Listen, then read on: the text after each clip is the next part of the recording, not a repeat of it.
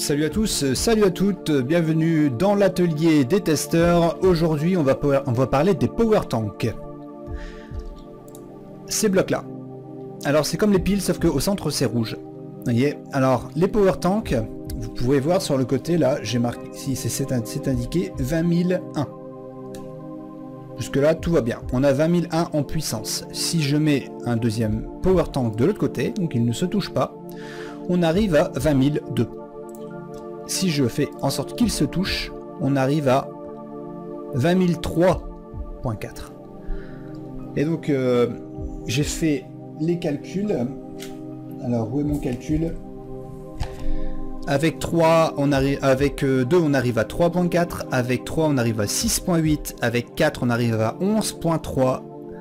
Donc euh, admettons j'en mets 9, si j'en mets 9, j'aurai 46.8 c'est énorme. 46 Par exemple, 1,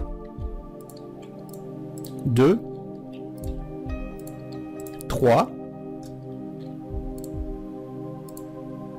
4, 5, 6,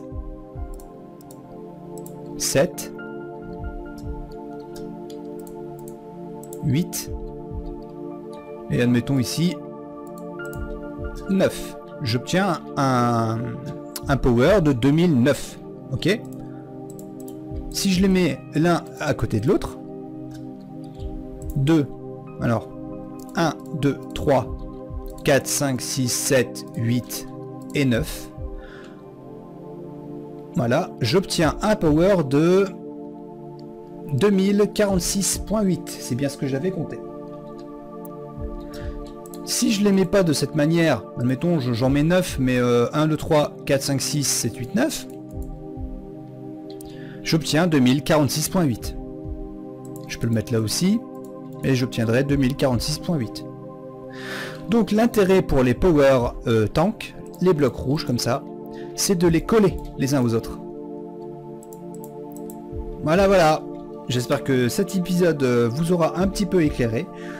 On se voit lors du prochain épisode. Allez, à plus tout le monde